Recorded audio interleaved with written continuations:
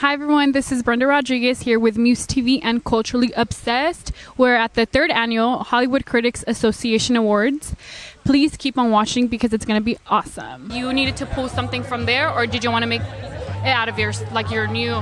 You know, I think it all comes back to going to the script and seeing what the script needs to tell the story with the clothes. Okay. So, uh, and I always work with prototypes and shapes, and we were setting it in 1981. So, and nobody's ever up to the minute. Well, maybe you are with your style, but most people aren't up to the minute. So I thought if we go into the 70s a little bit, like when would Arthur have a chance to buy clothes?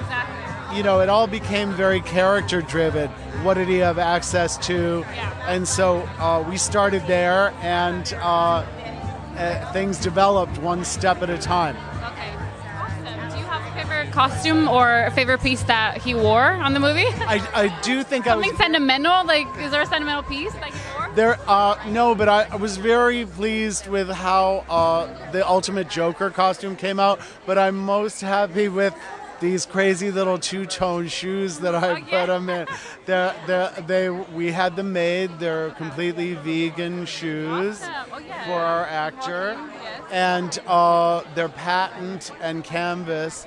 And uh, I, I like they're a little bit of uh, uh, the frosting on the cake a little bit, even though it's at his feet.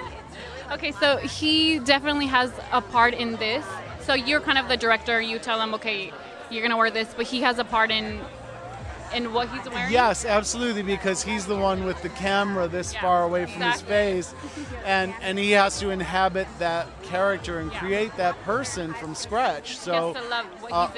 Uh, yeah, so uh, you know, I'm always there. This, we've collaborated on two other films, so this is our third oh, time together. Okay, okay. So we're we're familiar in, in creating a person from the ground up. Sounds like a really fun job. that is. sounds It is, amazing. and when I work with Joaquin, I'm reminded constantly why I became a costume designer. Aw, that's awesome. Thank you so much. You've inspired me. Now I want to work as that. Thank you. Have a great night. Bye. Thanks so much for watching. Be sure to give us a thumbs up, subscribe below, and check out our other tubular videos we have for your viewing pleasure.